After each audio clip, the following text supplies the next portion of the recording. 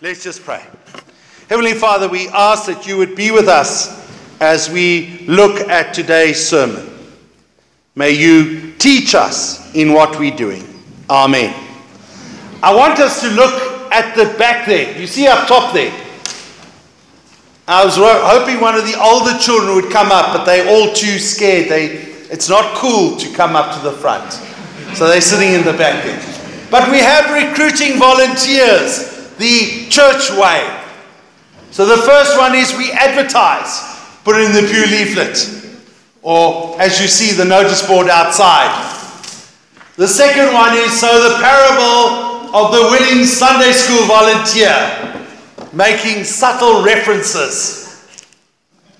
The third one is getting excited existing volunteers to bring in their friends. Targeting individuals waiting to pounce. I know that's one of the main reasons people don't come for tea after the service. Otherwise, we'll have to close it down, making threats. Then, we have the one over there. Sorry, I can't see that last one in the corner there. But asking for volunteers or thinking that everybody's going to come over. Don't forget, this is the one that works the best with the group that we have. That is bribery. Volunteers only, sweets. Otherwise, flattery. You'll be brilliant at this. And then the other one is using the carrot. We always put that out there. The last one is using a stick. You'll get this wand. And I suppose that's what today is all about. Today we're looking, we start our season in the old fashion of stewardship. But I don't want to call it stewardship. I want to look at it as God's mission because that's what it is. It's actually God's mission. And it's not just about money, it's about time, it's about talent, and it's about money. So we need to understand our priorities. And our priorities that we have are things like God, work, family, ministry, things like that. So Winston Churchill said, We make a living by what we get, but we make a life by what we give.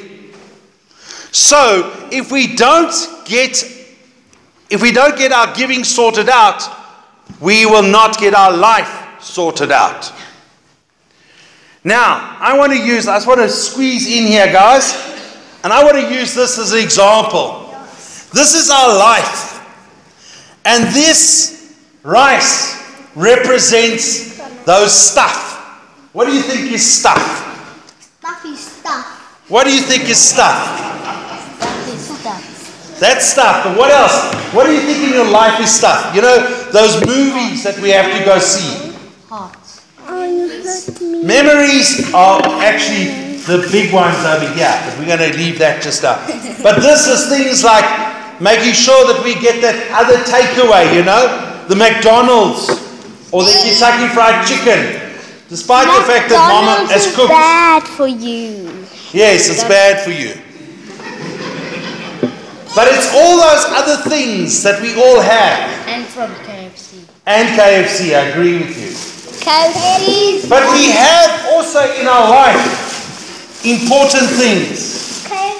A bet. Now, what do you think these are? What are these guys? Onions. They're onions. And I've chosen onions on purpose. So, important things are things like God, family, life. What about ministry? Oh dear, we've got work. Um, how are we going to get work in here? And we have to squeeze it in. What about joy? It's not going in. And we've still got those other three things. You know, the holidays, vacations. Now, there's one of two ways that we can solve this problem. And the first way is the way most of us solve this problem. And that is what we do is we make these smaller. So we cut them off. Now, who, who can tell me what happens if you, hey, guys, what happens if you chop up an onion? Um, it's gonna make you chilly in your mouth. No, it's It makes you cry. And so, by actually making our things, important things in our life, smaller, you know what? It actually makes us sad. It actually harms us. It actually makes things not that nice.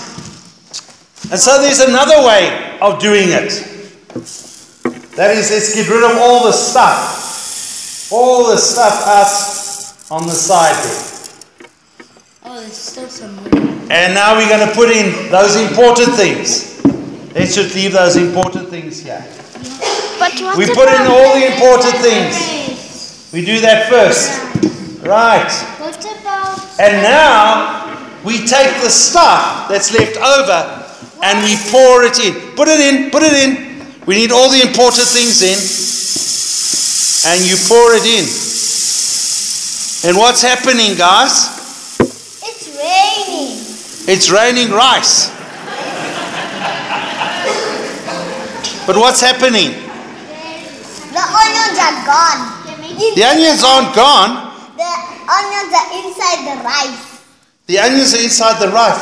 Yes. The important stuff is there, and the other stuff is there too. Because we've realigned our life so that the important stuff go in first and everything else goes around it. And yes, I see maybe this is the appointment to go to the hairdresser. We don't actually need to do. And and this one, this is instead of going to the 2D movie, it's going to oh, instead of going to the 3D movie, it's going to the 2D movie. And those are the things. So It's raining. right? what we're trying to do here is we need to remember that in this time, the Israelites, when they gave, they gave of their fruit, first fruit. What they gave of their first fruit was important because they had to give in faith. They had to give in faith to believe that God would not cause a drought or a hailstorm. And they gave generously. We've moved away from that. We've moved into a freedom. We don't need to tithe, but we have the freedom to give as we need. But remembering, as I said in the beginning, giving is not just about money, but it's about giving of our time and giving of our talents. And so we have that up there, the volunteers, which we'll talk about in another couple of weeks' time. the worst one out. You got the worst one out. That's good.